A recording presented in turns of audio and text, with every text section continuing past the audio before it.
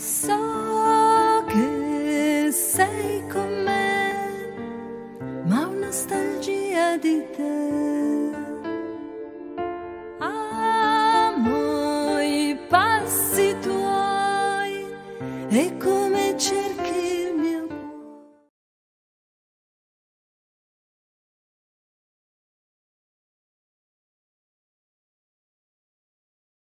possibile vivere la gioia nella malattia?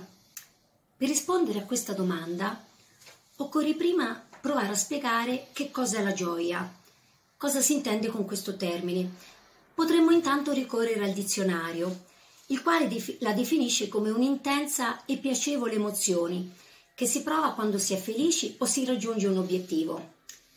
Gli studi in psicologia ci dicono che la gioia è un'emozione innata, universale, comune a tutte le diverse popolazioni. È una reazione ad una situazione positiva, una sensazione di benessere, sia a livello fisico, che incide quindi anche sulla salute del corpo, che a livello cognitivo, a livello comportamentale, favorendo anche le relazioni tra le persone e quindi promuove qualche cosa di buono nella vita del soggetto. Stiamo parlando naturalmente di un'emozione, di qualche cosa che è passeggero, che è momentaneo, transitorio, legato ad un evento.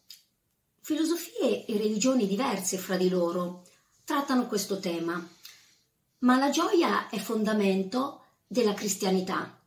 Papa Francesco ci ricorda che il cristiano è uomo e donna di gioia. Credo si possa sviluppare una tendenza alla gioia, nonostante le proprie vicende personali, nonostante il carattere, le attitudini. Ecco, Vittorino Andreoli, che è un famoso psichiatra, ha um, scritto un testo molto interessante, La gioia di vivere, in cui egli, parlando della fatica di vivere e di tutto quello che si passa attraverso la quotidianità, è possibile vivere eh, un momento, un percorso positivo, favorendo il passaggio dall'io al noi, attraverso il superamento di, e creando un equilibrio tra il futuro con le sue aspettative, con i desideri irrealizzabili e il passato con le sue ferite e i suoi rimpianti vivendo in maniera profonda il, be- il presente con tutto quello che di buono può donarci. Ecco, io rimango stupita di fronte a tante situazioni personali, a tante persone toccate da problemi pur gravi, che riescono comunque ad apprezzare la vita. Io stessa ho dovuto subire eh, tre anni fa un, eh, un momento doloroso nella mia vita. Ho affrontato tre interventi chirurgici alternati a, delle, a dei cicli di chemioterapia, quindi eh, difficoltà personali, familiari, lunghi viaggi per andare a curarmi. Ecco, ma io ho imparato a guardare la vita con occhi nuovi. Ho imparato a, ad abbandonarmi. Questo a, a, ad utilizzare un senso di arrendevolezza nei riguardi del futuro. Questo non significa però rinuncia, ma abbandono, abbandono filiale nelle braccia di Maria, abbandono nel cuore misericordioso di Gesù. Ecco, se la gioia comunemente intesa è un'emozione veloce, immediata, spontanea, un, una risposta ad un evento, non è la stessa cosa per il cristiano.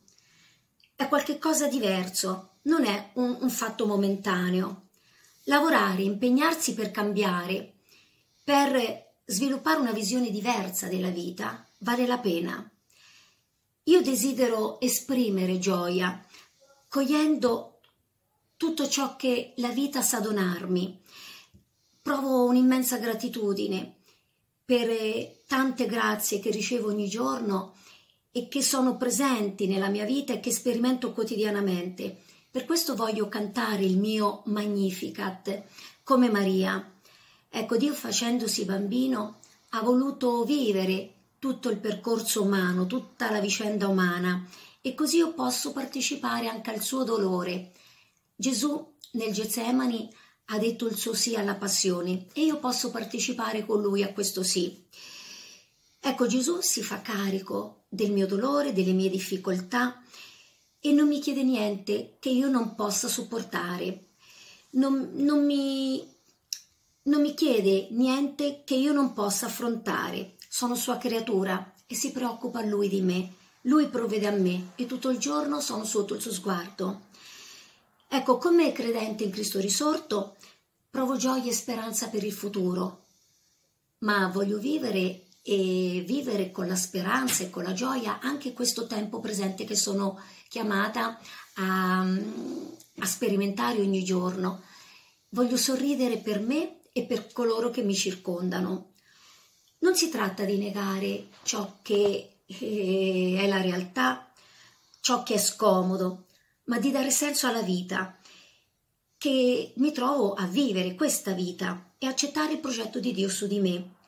Ogni situazione, come il sopraggiungere di una malattia, può essere eh, vista come un'occasione di crescita, come un'opportunità di ricchezza, se si accetta con, eh, con gratitudine, se si accetta come progetto di Dio per noi, se colta con occhi nuovi. Ecco, una volta qualcuno ha detto, la provvidenza sorge prima del sole. Ecco, la provvidenza si alza prima di noi al mattino e si corica dopo di noi. La fede mi aiuta a vivere il mio presente, a superare ogni timore ed è un valore aggiunto se condivisa.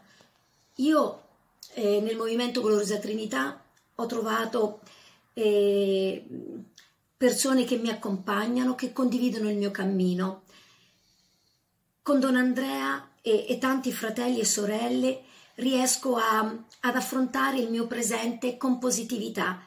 Si tratta di una grande famiglia e la vicinanza, l'amore e la preghiera degli altri sono per me forza e sostegno. A questo punto posso rispondere alla domanda iniziale. Sì, si può vivere con gioia anche la malattia.